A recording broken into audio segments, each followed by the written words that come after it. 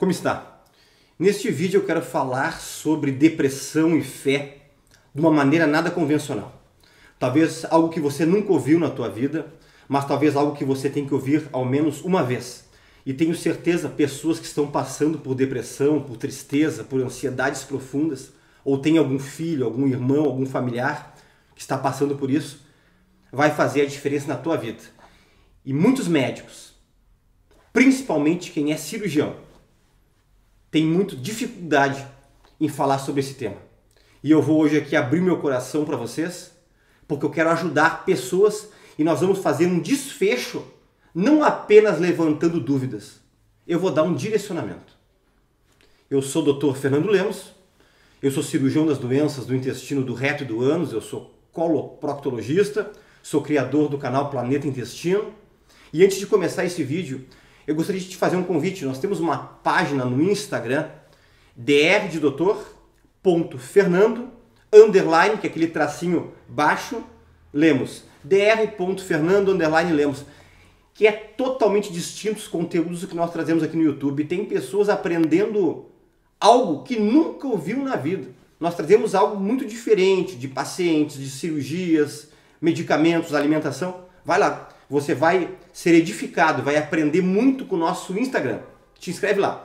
Outra coisa, pessoal, obviamente, se você gosta dos nossos vídeos e não é inscrito aqui no nosso canal Planeta Intestino, se inscreva, é gratuito. Eu tenho observado que pessoas gostam muito e não são inscritas no canal. Aí você não é avisado que nós estamos com publicações novas e atualizadas. E se puder já dar um like de início agora, é importantíssimo para o nosso canal. O canal é meu, o canal é teu. Pessoal, vamos lá. Primeiro de tudo, eu estou chegando Agora, depois de cinco cirurgias. Por que eu estou dizendo isso? O cirurgião é alguém que é muito cético. O cirurgião, diferente da maior parte dos médicos clínicos que lidam, não lidam com essa parte cirúrgica, de bloco cirúrgico, é conhecido dentro da classe média como um dos profissionais que não acreditam em quase nada. Que acreditam em ir lá colocar a mão, operar e tirar, operar um câncer, operar um tumor, operar uma hemorroida, operar uma fístula, operar um, um baço, operar um fígado, fazer uma cirurgia bariátrica, fazer uma cirurgia de esôfago, fazer uma cirurgia cerebral. Então por isso que muitas pessoas se surpreendem do meu posicionamento, ok? Mas eu quero trazer alguns detalhes para vocês aqui, porque eu sei que esse assunto é um assunto tabu, mesmo no meio médico.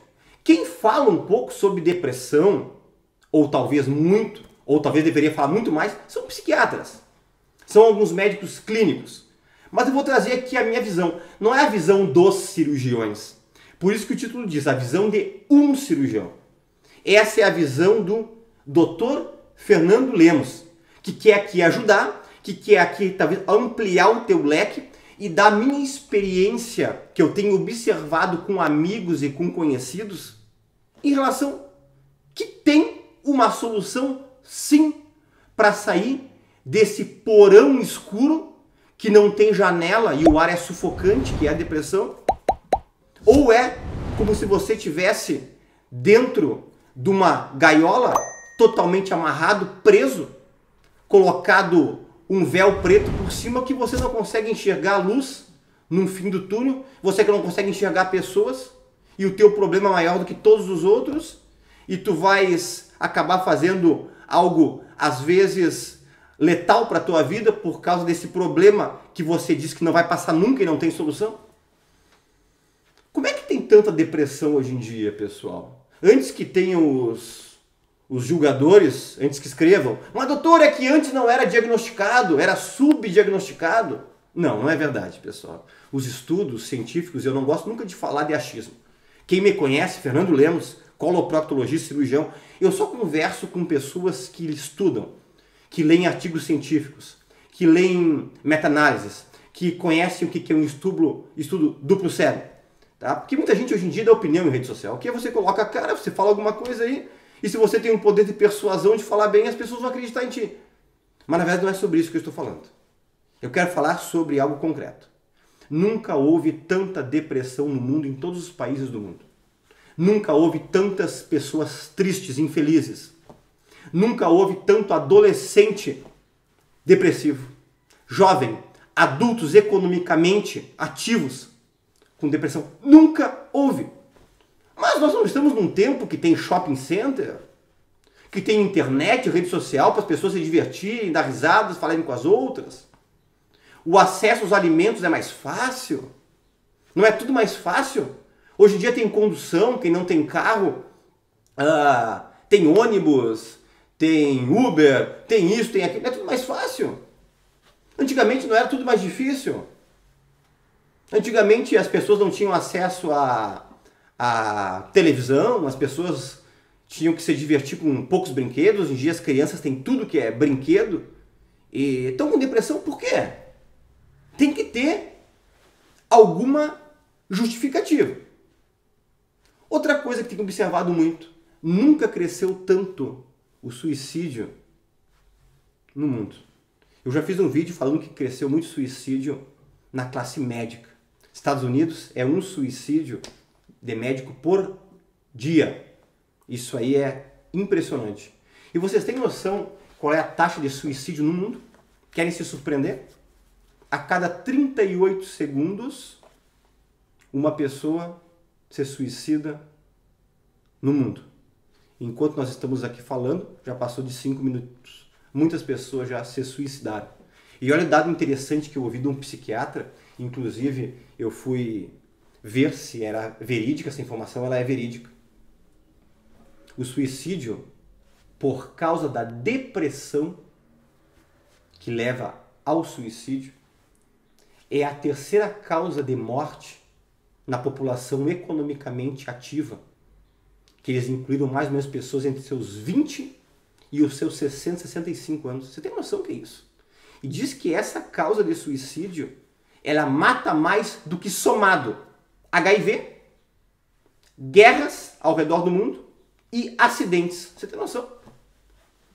Você tem noção o impacto e pessoas que têm na sua família alguém com depressão é algo muito triste. Talvez você que está assistindo por gostar dos nossos vídeos não vai ser tão impactado, mas se você compartilhar esse vídeo e alcançar alguém que tem alguém na família, alguém com depressão, você pode saber que você está dando talvez a solução para essa família para evitar uma tragédia que é chegar num suicídio.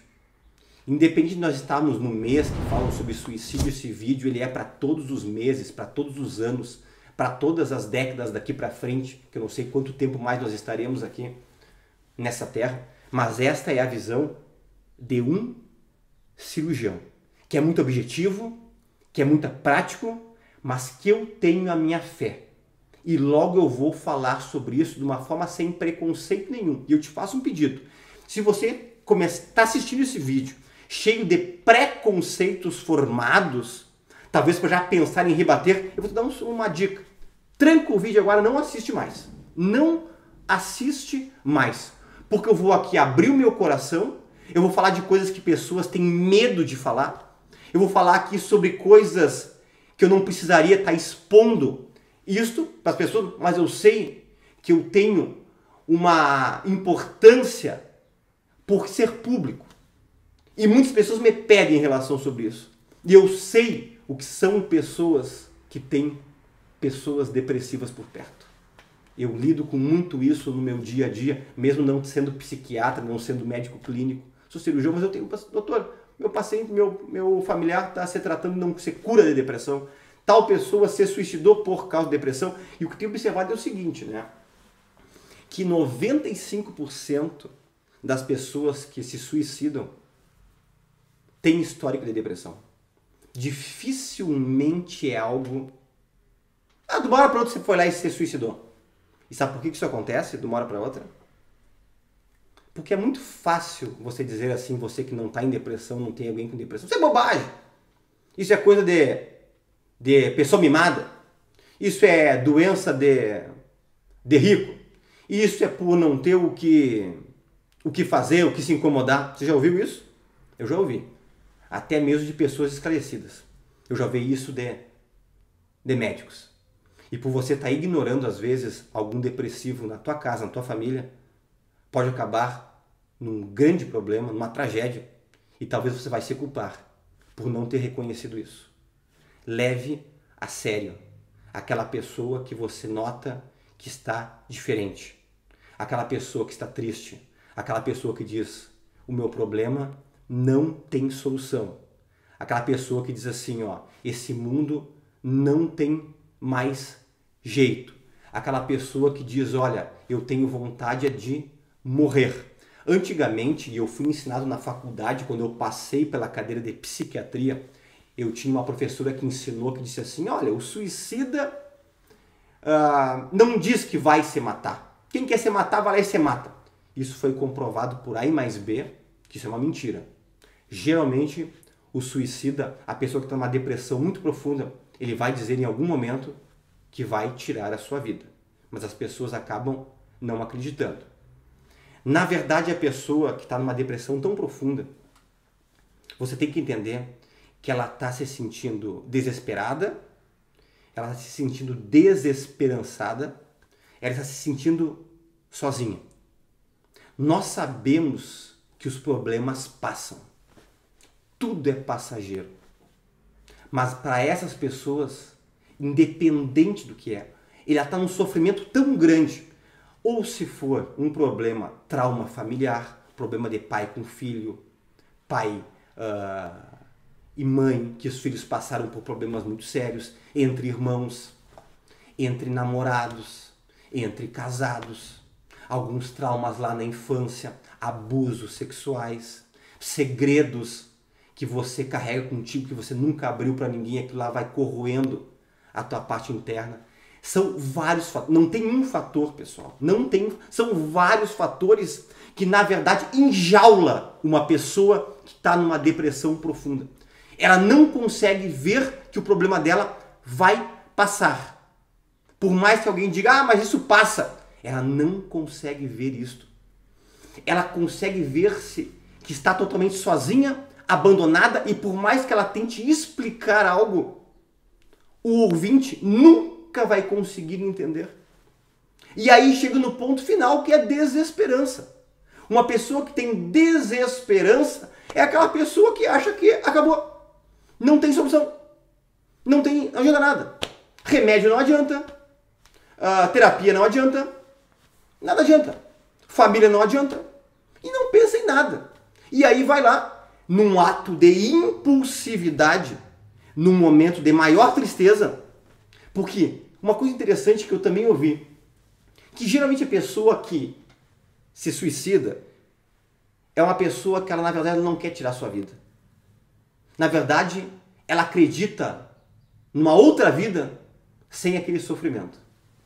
Porque aquele sofrimento para ela é incompatível com a vida.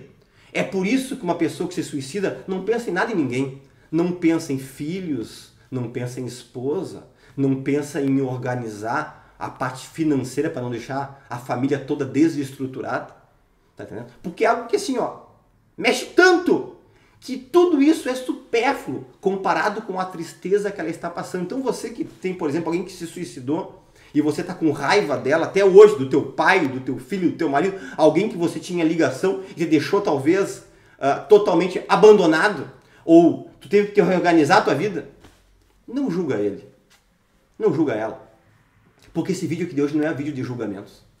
Eu não estou aqui para dizer se uma pessoa que se suicida vai para o céu ou para o inferno. Eu não estou aqui para dizer o que, que você tem que pensar de um suicida. O que eu estou aqui é para evitar que chegue nesse ponto. Eu estou aqui para nós tentarmos bloquear antes de chegar em algo tão sério ou talvez numa depressão profunda que é tão difícil um tratamento.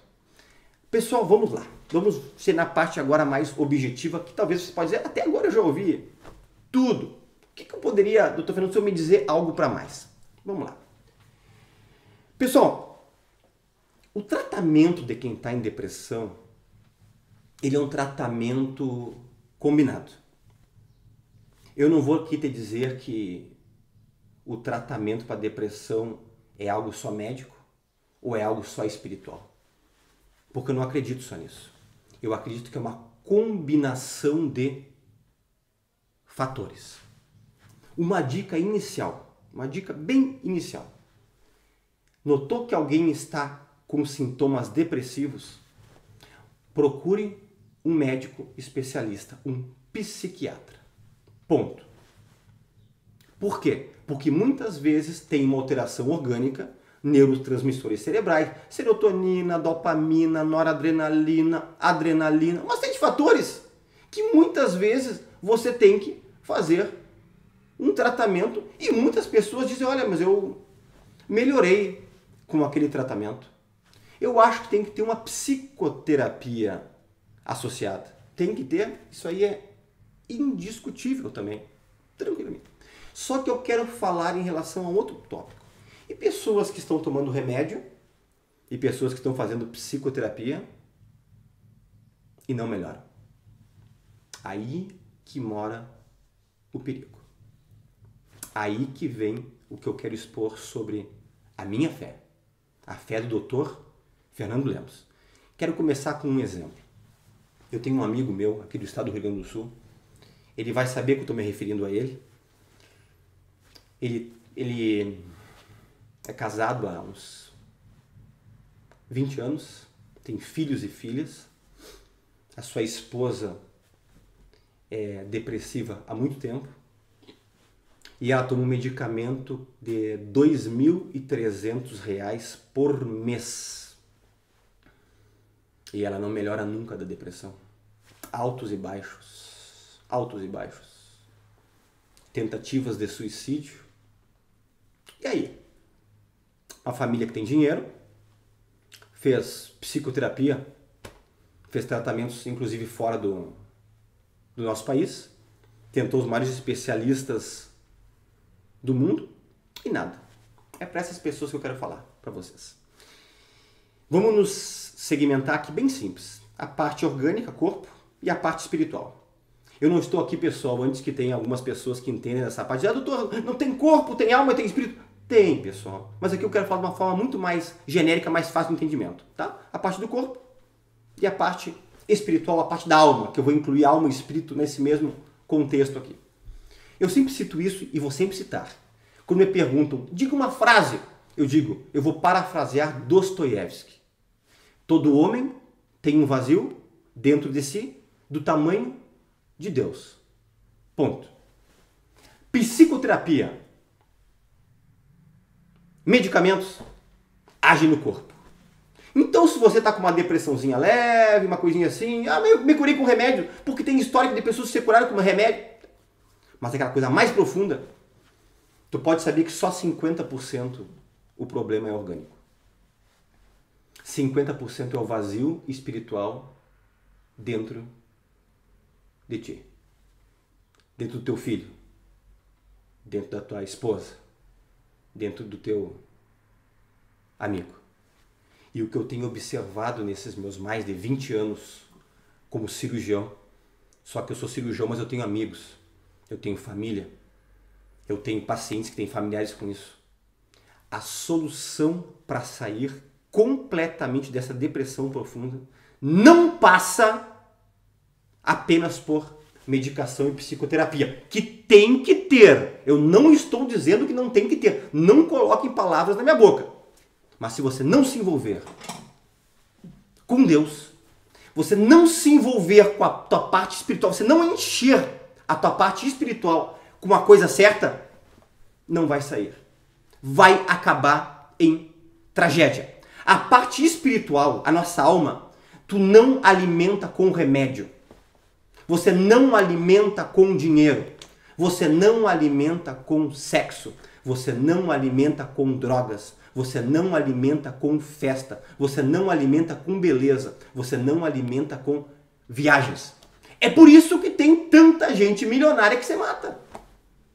É por isso que tem tanta gente bonita que se mata.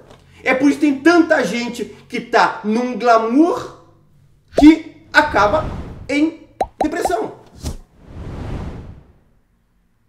Nisso que você tem que pensar. Então tira o teu preconceito. Eu vou dizer uma coisa aqui para vocês. Vou falar sobre a minha fé. Independente se você é espírita, se você é católico, se você é umbandista, se você como eu sou evangélico. Se você não preencher a tua alma com o Filho de Deus, com Jesus Cristo, não tem como você sair dessa depressão.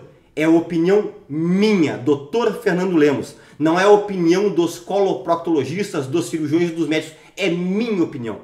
Eu tenho amigos, eu tenho conhecidos, pessoas com muitas condições financeiras, que depois que a pessoa tentou tudo, eu disse, tentou tudo. Quer que eu te dê uma, uma saída? Já tentou tudo, certo? Acabou para ti, é isso? Vamos tentar isso aqui. E muitas pessoas se levantaram. Tem um livro chamado Lugar Mais Seguro da Terra, que é muito interessante. Isso aqui é uma dica. Não é nem uma dica espiritual, é uma dica do dia a dia. Para quem tem alguém com depressão. Ele explica que o mais importante quando lidar com um depressivo é você apenas ouvir. Ele quer alguém para ouvir. Não é alguém para julgá-lo. É alguém que diga para ele: Eu estou aqui contigo. Eu estou aqui contigo. Porque a felicidade, ela não é você viver sem problemas e sem tristezas. A felicidade é você saber que vai ter problemas e tristezas e vai ter alguém contigo. Que é esse vazio que as pessoas têm e tu só preenche com o Filho de Deus. É só Jesus Cristo capaz de preencher este vazio. Olha que preocupação do Salvador com isto, entendendo que o homem tem uma tendência depressiva. Antes de subir aos céus, depois de ele ressuscitar, o que, que ele disse? Eis que estarei convosco todos os dias até a consumação do sexo, até o fim do mundo. O que ele quis dizer com isso? O ser humano precisa saber que tem algo, alguém com ele. Isso é a parte espiritual. E ele fez mais. Ele disse: Olha, eu vou subir para os céus, eu não vou deixar você sozinho. Eu vou mandar para a terra um consolador, que é Deus também. Enquanto eu vou para o céu, chama-se Espírito Santo, que ele vai preencher dentro de vocês por que essa preocupação? Consolador? Porque o ser humano não pode se sentir sozinho. Tudo prevenção de depressão profunda. Tudo prevenção de suicídio. A Bíblia diz: Felizes os que choram. Por quê? Porque eles serão consolados. Por quem? Pelo Consolador. Eu tenho muitos casos que eu poderia trazer pessoas dizer: Olha, eu tentei com tudo. Depois que eu falei com o Fernando, ele me deu esse direcionamento. A minha vida é outra. Então você, eu sei que quem não está passando por isso, talvez pode ouvir isso aqui e dizer, olha que balela está sendo dito aqui. Mas para quem está passando por alguém, por isso, eu estou dizendo para você, muda a rota. Ou melhor, acrescenta uma nova rota. Continua com a medicação. Continua com a psicoterapia. Mas eu te digo para ti, te envolve com as coisas de Deus. Ah, por onde que eu começo? Quer saber por onde você começa? Procura uma igreja. Ah, doutor, tem tanta igreja ruim? Tem. Tem um monte de igreja ruim, tem um monte de, de pessoas, pastores picaretas. Tem, tem, tem. Mas é uma minoria. Nós gostamos de maximizar tudo. Ah, tem tudo que é político é ladrão? Não, não é tudo que é político é ladrão, não. Ah, tudo que é homem não presta? Não, não é tudo que é homem não presta, não. Tem procure uma igreja séria para você ir e vai lá e conversa com o líder espiritual. Conversa com o pastor. Sempre tem alguém numa igreja para você conversar. Tira a tua vergonha. Tira, é a tua vida, é a tua felicidade. Ninguém vai chegar, eu digo, chegar e dizer, ó, toma aqui a tua felicidade, ó, toma aqui. Ninguém faz isso. Você que tem que ir atrás dela. E eu tô te dando aqui o caminho. Vá numa igreja. Ou converse com alguém que você sabe que tem ligação com Deus, que ele vai te dizer para você, olha, vamos por aqui. Ele vai te ensinar, olha, vamos dar uma lidinha aqui na Bíblia. Que Deus se faz presente quando nós lemos a Bíblia. Ao senhor ler a Bíblia, eu estou falando lemos. Leio quase que diariamente. Eu só não leio diariamente quando eu chego muito, muito, muito, muito tarde. A pessoa vai te ensinar como você vai orar. Vai orar para Deus em nome de Jesus Cristo, que é o nosso intercessor. E você vai começar a alimentar a tua alma. Alimentá-la, alimentá-la, alimentá-la, alimentá-la. Ó, tu menos imaginar, você está num nível que você nem imagina. Eu tenho parentes, eu tenho primos que passaram por tudo isso. E quando estavam no fundo do poço, me procuraram. Porque uma vez eu falei para eles, eles guardaram. Não quiseram naquele momento, mas depois, quando estavam lá no fundo do poço, me procuraram. Não espere chegar no fundo do poço. Preencha a tua alma com Jesus Cristo. Preencha a tua alma com as coisas de Deus. Trabalha, opera como eu opero. Tenha teus filhos, cuida da tua família. Mas se você não cuidar de preencher, de exercitar a tua parte espiritual, você está fadado à tristeza, angústia, depressão, solidão, mesmo às vezes parecendo que você tem tudo.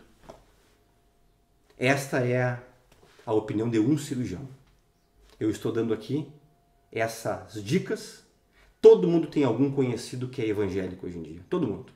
Aqueles vezes, talvez, muitas vezes você brincou, fez piada, mas no momento da dificuldade da luta, você tem que saber a quem você tem que recorrer. E eu estou aqui abrindo meu coração e passando para vocês o que eu tenho de melhor para você ajudar quem está passando por isso. Lembra de, de curtir esse vídeo se você gostou.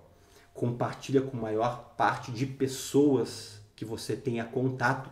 Talvez esse vídeo vai alcançar alguém que você vai ser o responsável por salvar a vida dela por causa de uma orientação correta e de qualidade.